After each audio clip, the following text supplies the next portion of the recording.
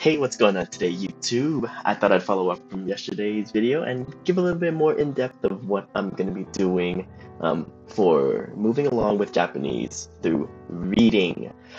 Alright, so um, if you if you took a look at yesterday's video, I talked a little bit about uh, me taking a break from Japanese and my path moving forward being heavily reading centric. So that is the truth, and I'm going to go over what resources I'm going to be personally using and how I am going to go about using those. So um, I'm just going to jump straight into it and talk a little bit about those and show you what they are. So First, as you all may know, I'm definitely going to be using Yomi-chan. And so, if you didn't expect that, well, there you go. Yomi-chan. I'm going to be using Yomi-chan to read um, light novels online that I want to read personally. The two light novels that I have that I am um, currently trying to read right now is one is Classroom of the Elite, and two is Re Zero, as you all may know. And so, those are the two novels, uh, light novels, that I am currently uh, beginning to pick back up and beginning to read on uh, Yomi-chan using the Tsu reader. Um, online. And so that one is going to be pretty straightforward. And so the second one you may not be expecting. And so the second resource I'm going to talk a little bit more about, and that second resource is going to be LingQ. So you may know what LingQ is. If not, it's basically a online web app and phone app that um, kind of has this graded reader like interface. And so what that means is uh, words will be highlighted and then you can click on them to search up the definitions of words and stuff like that. So I personally, um, about two years ago, I actually bought a lifetime LingQ account. So um, yeah, it's kind of just been sitting there and I haven't really used it. I thought I was going to use it a lot more. And so I jumped back on LingQ and started looking around and realized there's a ton of great stuff on there that uh, I'm missing out on and that you know I might as well take advantage of since I have already gotten through the paywall. So um, that is what I'm going to be doing for my second way of reading. Uh, that one is going to be mainly towards um, you know the easier stuff that I talked about um, earlier or that I talked about in yesterday's video. So I'm going to be mainly using LingQ as the um, as a way to source through easier level content that I don't really have to uh, look up too much. And so if I do need to look it up, it's on LingQ and I can just click the word and it'll be there. I'll show you a little bit about it. And yeah, additionally, I did find some additionally it's not only limited to beginner level content on LingQ there's a ton of intermediate content and a ton of advanced level content um, that I can go and look and see what's interesting. And the cool part is that you can always include audio with it. So um, I will definitely be doing a little bit of that as well. But um, in terms of advanced level content, at the current moment, I'm just using the Tsu Reader and then light novels online uh, with Yomi-chan instead. So, you know, if you don't have access to LingQ and you want to do something like this, you could always just use Yomi-chan. I always just tell people if you want to go free and you want to read a lot, just use Yomi-chan uh, and go online and just read a lot. That's perfectly a, that's a perfectly viable option. The only reason I'm using LingQ is because I had previously bought it, and so it's a waste to not use it because honestly, I think LingQ is a really great resource and um, it provides a lot of value, especially for me, if it's going to curate content that might be interesting um, according to level. And so that reduces the need for me to actually have to go through each individual resource and find out what, you know, what is easy enough, what is not, what's too hard, what's too easy, stuff like that. Of course, you, there's a ton of a ton of forums at the you know Reddit posts. You can go to the Refold JP page um, or Discord, and you can find a lot of great resources out there.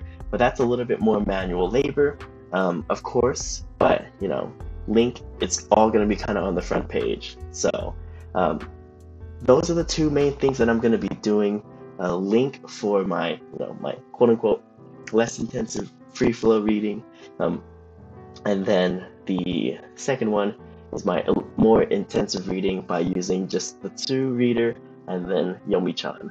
Um, so yeah, I'm gonna go ahead and show a little bit of what the resources and reading and materials look like. So let's just jump onto my laptop and I'll give you a little bit of what that looks like. Okay, so first thing is LingQ. So I'm gonna go ahead and show you the front page of my LingQ. Uh, personally, I'm not the biggest fan of the, the interface. There's definitely a lot of good stuff here, but it's just not my cup of tea. I think it's a little bit um, less user-friendly. Uh, but, you know, there are guides on YouTube that guide you through it, and so it's not that hard if you get used to it.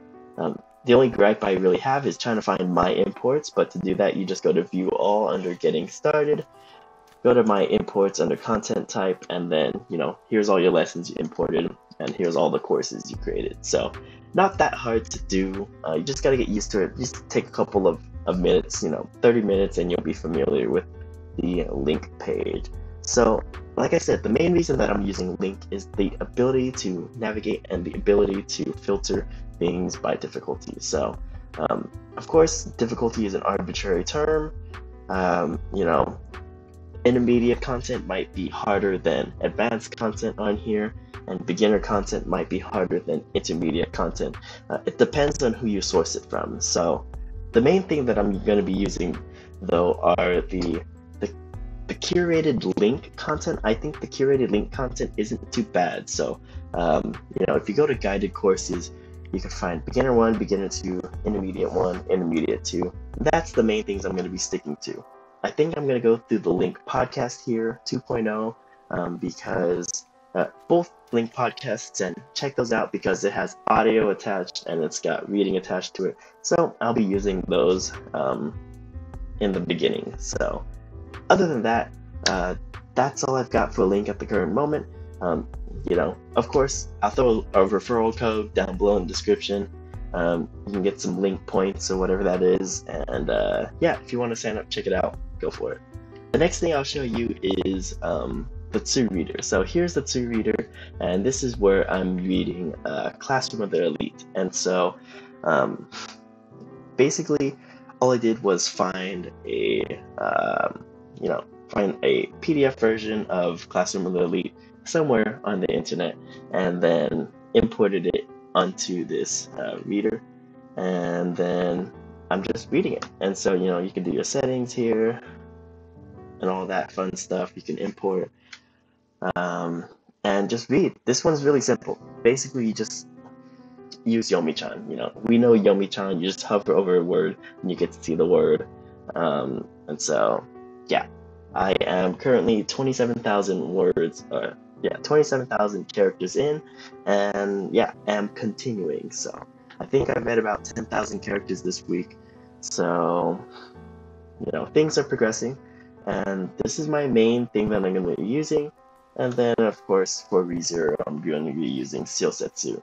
Um, because this is where all of the web novel stuff is uploaded on for ReZero. And yeah, I feel like I've read this first prologue like s- several times. So I'll probably skip to like chapter three or something like that, and then continue from there. Um, but other than that, those are the main things that I am uh, currently using for um, my my reading. And then, of course, I'm still watching Japanese YouTube, and I'm watching, you know, anime. Of course, um, that's always going to be somewhere in my study. But and yeah, you know, this is my YouTube stuff that I watch just on a day-to-day basis. It's nothing too special but yeah, one plug I want to do is if you want to hop into Discord, I'm always on there to chat about anything. Um, so are my Discord users. We're always down to talk about language learning stuff for Japanese. So hop in my Discord, down below in the description. Um, but other than that, if you watch all the way through, uh, thank you so much for watching today, and uh, I'll see you again in a future video. See you later, and good luck in your studies.